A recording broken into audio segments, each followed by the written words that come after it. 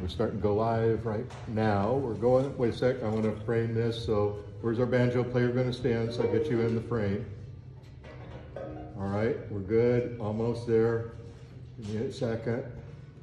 There we go. You might want to stand here so I don't have to, for your pray in. You want to be on camera when you pray in?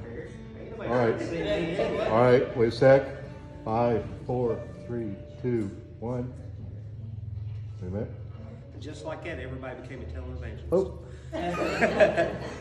Lord, we thank you, God, for your many blessings, your many graces, and your many gifts, God. We ask you, Lord, that you uh, be with us throughout the service. We ask you, God, that you uh, bless the band, Lord. Bless the folks that came out. In Jesus' name, amen. put your hat back on now. That was just for the prayer. All right, so uh, who we have this time uh, is number nine Cole. Uh, very blessed to have them. And then it'll be Wolf Creek uh, next time. And uh, looking forward to seeing them too. We got a flyer out there for everybody to see who else is coming next. And uh, hope to keep this thing going. So take it away, guys. This, this is an old song done by the Carter family. Keep on the sunny side, and I see you already got the memo. And you, you can sing along if you know the words, or, or even if you don't. Sing along anyway, that's what I do.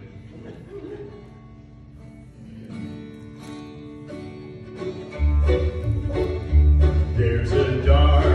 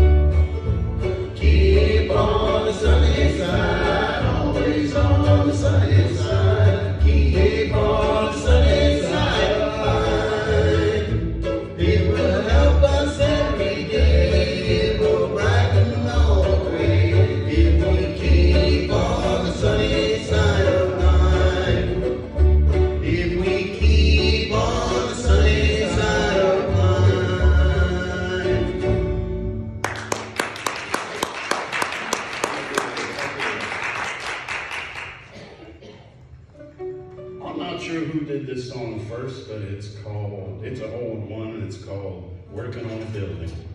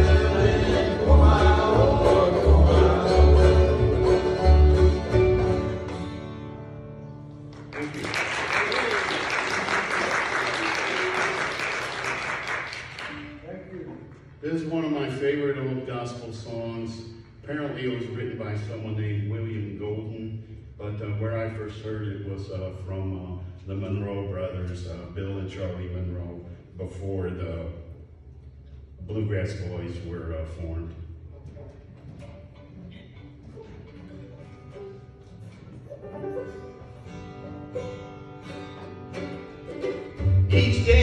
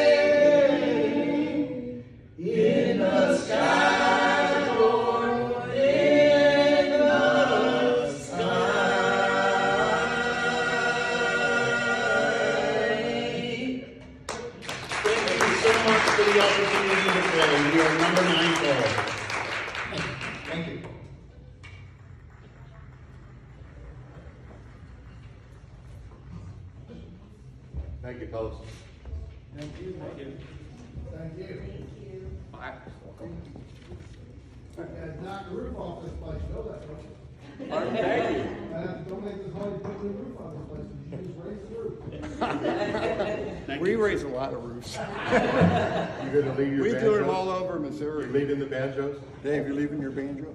Oh, can I leave it? Oh, please let him just You leave. can leave it or not. Either way. Leave it. I'll just leave it.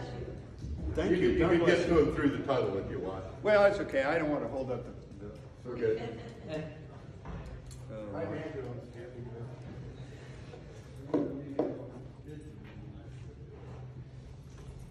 Prayer request. Excuse me. Prayer request. Yes. Ukraine, Okay. Definitely be praying about that. What else? Well, my wife made it safely to North Carolina, which I'm very thankful for. Um, and I probably should have said this this morning in the morning service. I got to drive 13 hours when I leave here. I'm headed to St. Simons, Georgia for some training. And uh, I'll get back to some people that sound like me. and, uh, but uh, uh, I'm going to try to make it past Atlanta and then take a nap and then go on in. So y'all pray for me because, well, it's Atlanta. you know. Yeah, I mean it's it's it's it's something else. I didn't like it when I drove a truck, and I don't I, I ain't drove through there since well a couple years ago, and I'm probably going not gonna like it any better, but uh, it'll be fine. It'll be fine. We got another prayer request for a man that my wife used to work with, his name is Harold, and he's ninety-six years old. And, uh, World War II vet, fought in the Pacific with Patrick Morton, and he came from your hometown. Oh wow. God bless him. I will definitely be definitely be praying for him. Who else? Unspoken prayer requests. I always have a ton of those. Started. I got three kids, so there's three prayer requests right there. I got two grandkids, and That's two more. So there's five right there, right off the top of the head. My mama's still living, my natural father's still living, and my adopted father's still living. There's three more. So I don't have to go fa- uh, very far to, to knock off eight prayer requests just like that, you know, because I know if they're like me, they can always use prayer. All right, let's pray. Father, I thank you, God, that uh, we can bring our prayer requests before you. We thank you, God, for the uh, uh, the group that come and uh, brought music. We ask you, God, that you uh, just bless them. Lord, we pray for the folks in the Ukraine. I've never been through anything like that in my life, so I really can't imagine. So, Lord, I ask you, God, that you just be with them like you already have. Uh, Lord, we ask you, God, that uh, you be with each of the uh, prayer requests and the unspoken prayer requests. And we just give you all the praise and the glory for who you are. In Jesus' name, amen. So this week I want to talk to you about uh, what have you. What have you? Um, you know, I think the world is a little uh, twisted. Is I, I don't know about y'all, but I always hear about what people ain't got, what they don't have. Um, I I, uh, I had a long conversation with my youngest daughter, uh, and it was a very contentious one because she said, "You got this nice house, Daddy," and she said, "You know." Uh, she, she said, You're living good. And she said, You're living up here. And I said, Do you know what it takes to get that house? I said, How many jobs does your stepmama got? How many jobs does your daddy got? How old is your father? And uh, my daughter's 22, wanting something that a 50 year old has that I've worked all my life for. And so it, it's amazing to me that, you know, I was always taught when I was a kid, especially by my grandmama, to be thankful for what I have and to focus on what I have, not on what somebody else has or what, what, what we want. And so I want to take you through a few scriptures about what have you. So Exodus 4 2 says, uh, which is the main text, God looks at Moses. Moses gives this whole list of stuff. He can't speak right. He killed an Egyptian. He, you know, they're going to hunt him down. He, he's, they're not going to listen to him. And I don't know your name and all this stuff. And God just cuts him off and says, What's in thine hand? What's in your hand? So Moses had a rod that became a snake, remember? That changed the course of the Israelites' whole thing. If you think about that, if you think about that rod, so that's a walking stick, is all that is. Moses went to fight the biggest army in the known world. That's like chasing a bear with a switch. He went with a walking stick and led the Israelites out of Egypt. So he had a stick. But in God's hands, it became a miracle. Because I don't know about y'all, but if I ever toss down a stick and it turns into a snake, I'll probably never pick up another stick in my life. People used to ask me where I come from the Pentecostal church, they said, Preacher, you handle snakes? I said, Yeah, hoe or shotgun. One of them. I handle them. I, I, I, handle them. And they become belt buckles, they become boots, or they become like my binder I've got in the office. That's that's made out of timber rattler. That's how I've always handled snakes. I ain't never met. My grandpa used to say, "Don't kill black snakes; they're good snakes." They ain't no good snakes. Okay. I will tell you this too, men. If a snake ever talks to your uh, wife, kill it. Look what happened last time. Okay. so no, don't mess with. Don't mess with snakes. But the rod became a snake. David had a sling and he used it to slay a giant. That's in 1 Samuel 17. Now you think about that for a minute. You got David who is ruddy, which can mean red or it can mean short. Okay? You got this little kid and you've got this fighting man that they're measuring his stature by cubits. It's a big old dude. This is like somebody my size, if, if y'all know anything about wrestling, Andre the Giant.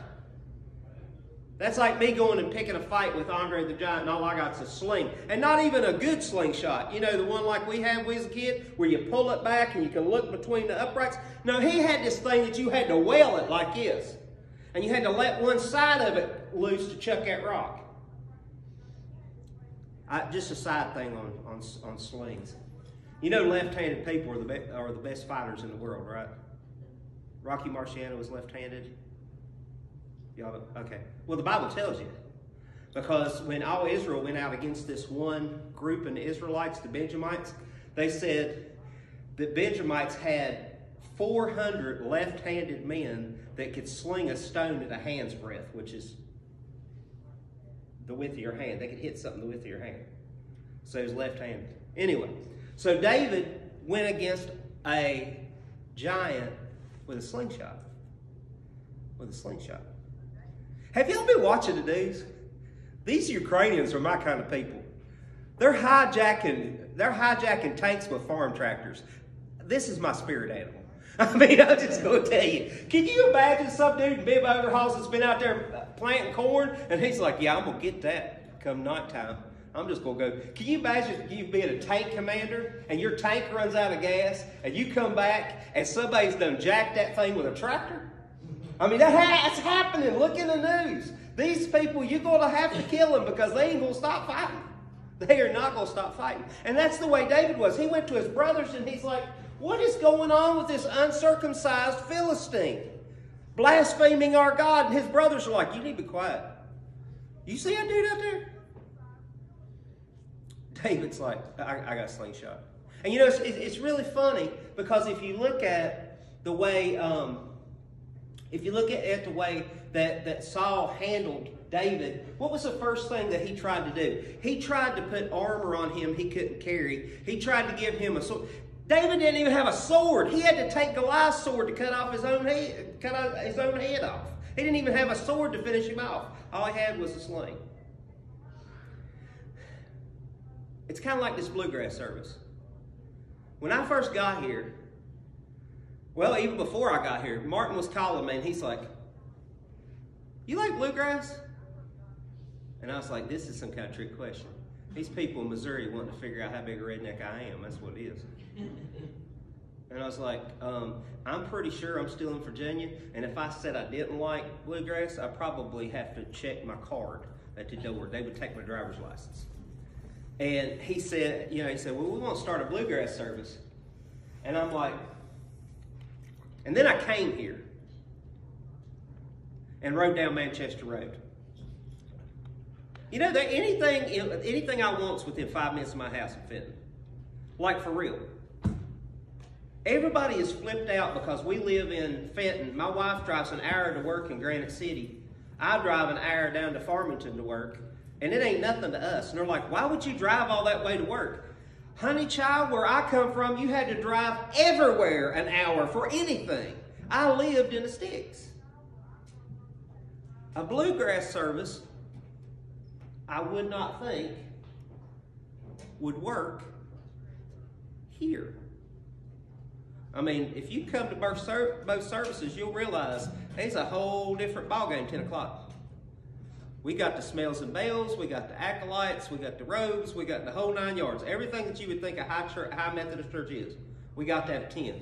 And then 12 o'clock, I chuck off those robes, put on my overalls, and come out here and we do a bluegrass service. And people are showing up. Now, some of y'all uh, really need a lot of repentance, like my sister Janet back here. She, she's got to come and ask God to forgive her twice because she's so mean. Um, so she has to come to church twice, you know, so she get all kinds of forgiveness. But it's working. It's working. What David had in his hand was a slingshot. It's what he used. It's what he used to slow down the lion and the bear. It's what he had in his hand. He used what God had equipped him with. Saul's armor wasn't going to work uh, for David. You know, a, a big full on contemporary praise and worship service works really well for Manchester. It's not going to work here. You've got to do the thing that you. Can you imagine this accent after Hillsong? I mean, I'm just saying. Fits fine here. I struggle with it in the roads. But can you imagine after Hillsong and then I come up and preach? Where did they dig him up from? It don't work. You have to use the things in your hand that God give you. I love this one. If you look in 2 Kings 5, 2 through 14, there's this Jewish maid that had a feeble voice, and she used it to tell Naaman about Elisha. Y'all remember Naaman? Leprosy? Big commander of the army. He couldn't get healed anywhere. He couldn't get, you know, it don't matter if you command thousands of men if you can't get near them because you have leprosy. I mean, how did that even work for him? Now, I know he wasn't Jewish, but in Jewish culture, you had to scream, unclean, unclean, unclean. Or today, I got COVID, stay six feet away. you know, I got cooties, stay away. This little Jewish girl probably had never even spoke to him. Why? Out of fear. She was a servant. She was a slave to him. I mean, I can't imagine how much courage that took for her to go up and say, um, Mr. Naaman, sir, you want to get rid of that, there's this guy. Now, he's a little eccentric, uh, but if you do what he tells you, you'll be healed. Think of the weight of that. She had so much faith in God, and she had so much faith in the prophet of God that she spoke that very thing into existence. I, I, mean, I, I don't know how other theologians look at it or people read the Bible, but I believe Naaman rode there on her faith, not on his. I believe I rode right into, I mean, my salvation is my own, but I believe I rode right to that pulpit on my grandma's prayers. My grandma prayed me right in there. I heard her pray for me every single night. All her prayers ended with, Now I want to talk to you about that grandson of mine. She had a bunch of grandsons, but I knew which one she was focusing in on. That'd be this one. That would be this one. He went down there. Elisha didn't even hardly talk to him. He just like, Go dip seven times, you'll be healed. And you've seen the whole thing. You see the whole thing play out. Naaman's like, wasn't there cleaner water where I was at? Wasn't there, couldn't I took a bath where I was at? And another person had to say, had to use their voice, if he'd asked you to do a hard thing, would you have done it? See, sometimes, sometimes God doesn't ask us to do these big, magnificent things. He asks us to be obedient in small things. This morning, I wasn't standing in a pulpit trying to project my voice or keep people's attention or walk down at the right time or walk out at the right right time or make sure I'm framed in these cameras and all that. I wasn't doing that. You know what I was doing this morning? I was making French toast for two little girls that come to this church. Why? They requested it. They wanted French toast. I didn't know how to make French toast. Simplest thing in the world, come to find out. I had to get online though and get a recipe because I do everything by the numbers. You know what happened this morning? It was interesting because me and the lady that we have to have two, like it, with with kids, we have to say sanctuary policy. So, like I can't teach Sunday school with my wife. I have to have somebody from opposite sex. It's it's just a safety for the kids. And uh, there was a lady in there with me. And last week I didn't really teach much of anything. I just made omelet. This week they were picking on me because I had to use a recipe to make French toast. Yours was picking on me. she said, Did you really have to do that? And she said, Did you really have to look at it? Do you not even know what's in French toast? I said, You're exactly correct. And you know what I, you know what happened? That whole thing flipped in a second. I said, you know, that's the problem with people today. And she said, What's that? I said, They never read the directions. I said, You know that Bible I preach out of every Sunday? She said, Yeah. I said, That's the basic instructions before leaving earth. That's what Bible stands for to me. It's an acronym. And I said, You know, people wouldn't have half the trouble they have if they just pick that thing up and read it. And then I had two girls, and of course they went into, Well, men never read directions. I said, You're correct. I said, My brothers, they will literally open a piece of furniture and slide it out there and start putting it together and never look at the directions. I said, and then when they mess it up real good, they'll call somebody like me that actually will read it.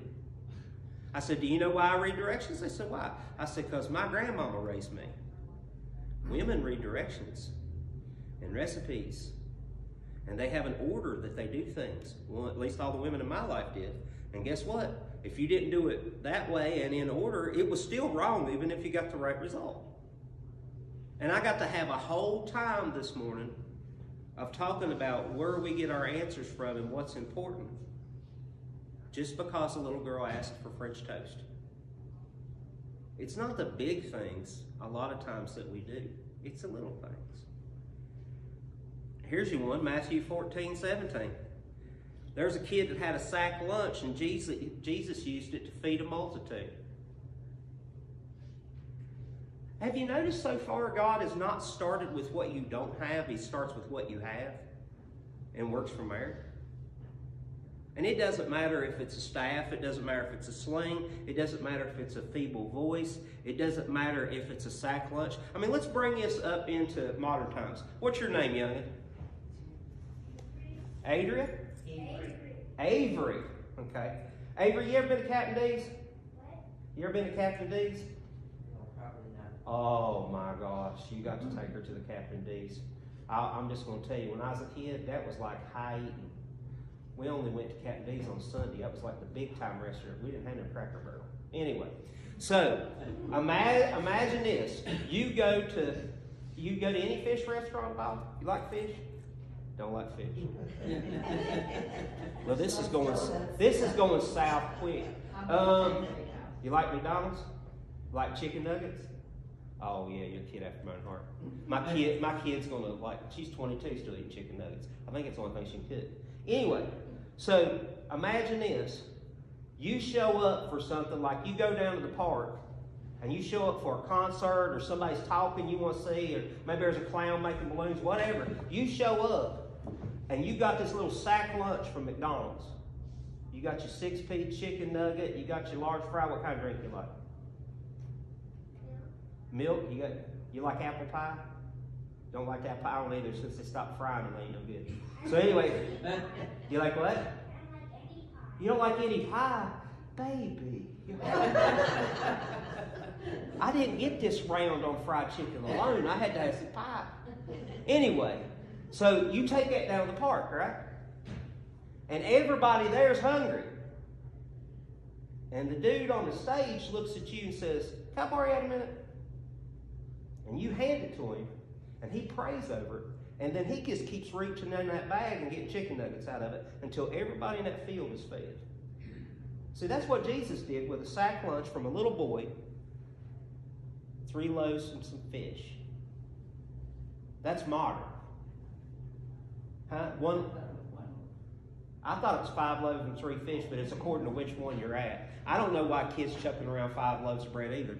But anyway, it's according it's according to which version. You got seven thousand, you got five thousand. I still ain't figured out. Honestly, I still ain't figured out if that's the same story or if that's two different accounts. And people argue it all the time, and I don't know. But this is the this is the gist of it. There was a sack lunch, and Jesus fed everybody in that field with it, and that's all he had was that little sack lunch.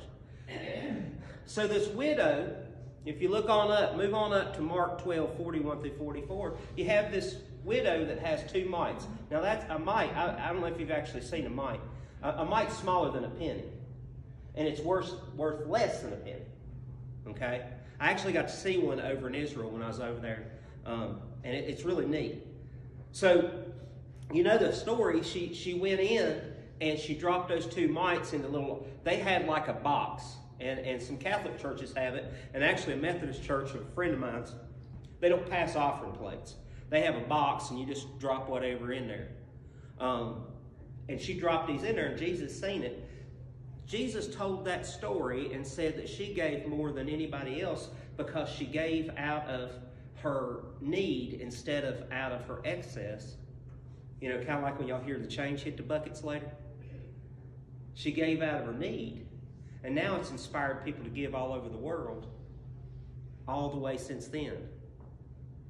That story in the Bible has been told over and over and over, and it was a little widow with two little mites and dropped it in there.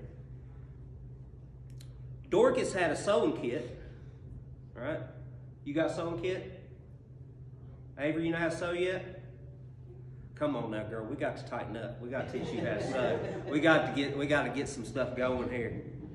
My grandmama had me sewing at your size. I had I had and I never could. My thumb was fat, so I couldn't put the thimbles on. I was always sticking my fingers. Anyway, Dor- Dorcas had a, a sewing kit, but used it in a big way to help the poor. You know, we have ladies that we bring plastic bags, right? And they weave them together and they make mats. We take those mats up to St. Louis and the homeless use it to stay off the ground, right? Last one, or last thing. We know Dorcas had a sewing kit. We knew the widow had two mites. We knew a kid had a sack lunch. We knew a Jewish maid had a feeble voice. We know David had a sling, and we know Moses had a rod. What do you got? What do you got? Sometimes, sometimes I've got a pickup. And sometimes I will move you. Not every time. But sometimes I have a pickup truck and I haul things up to St. Patrick's. Sometimes I just have an ear and sit down and let an inmate tell me what it's like to be in a prison his whole life. I've got a clerk that's my age that committed a felony when he was 17, and he's still in prison, going to be in prison for his whole life. He made a decision at 17 years old. It's going to affect him for the rest of his life. We have a juvenile house at Farmington. We got two boys over there, and I do say boys because what they do in Missouri is not what they do in Virginia. In Missouri, if you're under the age of 18, even if you're convicted as an adult, you have to be kept separate from the general population. And then when that magical 18 happens, you just get thrown out with everybody else. Got two boys that's going to be grandpa age before they get out 16 and 17 years old. Sorry. So from there, I have a voice, or a, a voice, well, no, I have an ear. Sometimes, sometimes I just have to be there. I just am present. Sometimes people don't want me to say anything. They don't want to say anything. They just want me to be there. And see, you have all those gifts too. God's gifted you with something. And you're to use it for the glory of God. Whether it's playing music, whether it's preaching, whether it is listening, whether it is singing, whether it is weaving, it doesn't matter. Take that gift that God's given you and use it for His glory. It worked for Moses, it worked for David, it worked for a kid with chicken nuggets or fish. It worked. It worked with Dorcas. It worked with a Jewish girl with a feeble voice. It worked with a widow, and it'll work for you. Because the one thing I do know about the Bible is folk are all the same. Some are used, some are not because they choose. God will use you just like He used David, just like He used Moses, just like He sometimes uses me. He'll use you, but you got to be willing to offer what's in your hand. In the name of the Father, Son, and the Holy Spirit. Amen. All right, offering time. I need a couple ushers.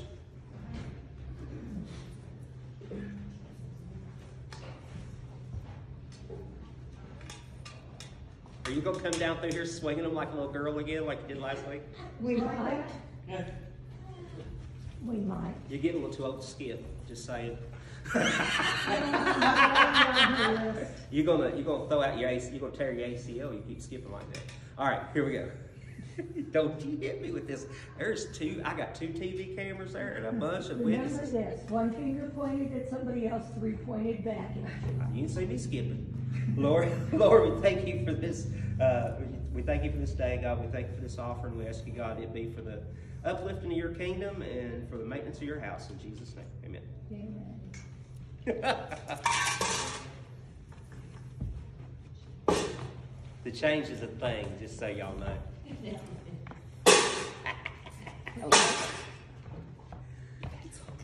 I don't know why that's so fun, but I just I get such a kick out of it.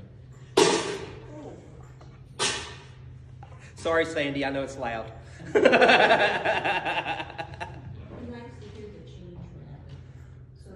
Somebody dropped some change in it. Somebody dropped some change in it the first time, and now it became a thing. So good Lord, Daddy. Somebody was blessed this week.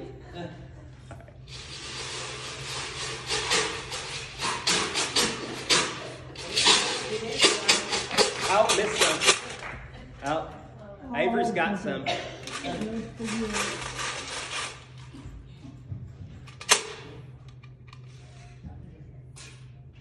We'll take it, John.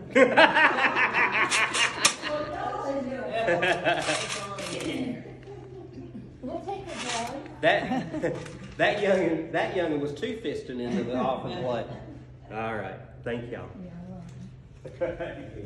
All right, so this week instead of doing a benediction, um, somebody said somebody said, why don't we sing a song before we dismiss?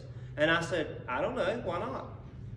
Now we'll have to do it a cappella, so you'll have to. If you got a little, sorry, a cappella.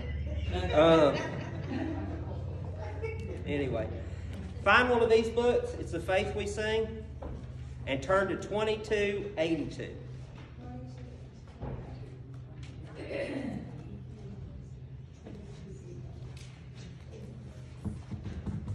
Just so you know, this is my favorite hymn of like all love it. All love it. Is it? Well, they were warming up to it. They said, We're going to use this as a warm up. This ain't our set song. And I was like, How disappointing. I was hoping this one would do I'll Fly Away. But I still got to hear them warm up to it anyway. Y'all ready? If you can't sing good, sing loud. If you can sing good, sing good and loud. Okay? Brumley was a Missouri guy, by the way. Huh? Brumley, the composer, was a Missouri guy. Didn't know that. Yep. Huh. Okay. I learned something new today. Can we say twenty-two fifty-five seventy, that's as far as I got. Huh? What? Somebody tear the back ears out? I'm looking. 2282. It's all the way to back. And I will just tell you, I don't know why these are numbered this way. There's not 2,000 pages in here. But they didn't want to have the same numbers as the one in the United Methodist hymnal because we're methodical about what we do. All right. You good? All right. Got the same reading glasses I got. All right. Some glad morning when this life is o'er, I'll fly away to a home on God's celestial shore. I'll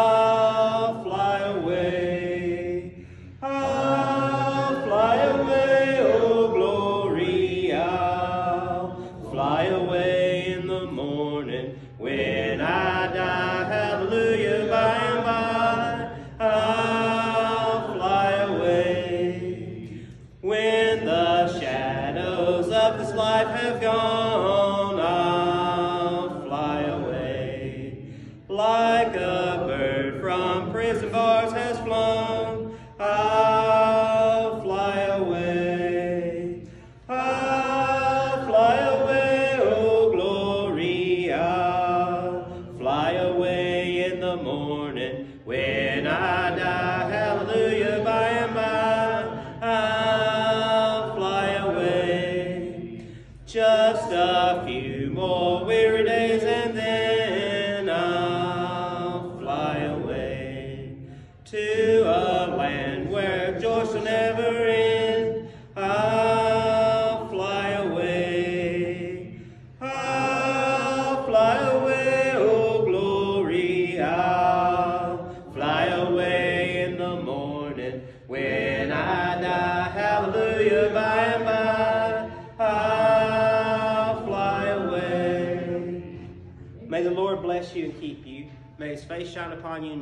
you and overshadow you. And I pray that the God of heaven give you peace. You're dismissed. I'm going to Georgia. So, I'll do my best. Do my best. Avery, it was good having you in service, young. You needed somebody to pick on. Exactly. exactly.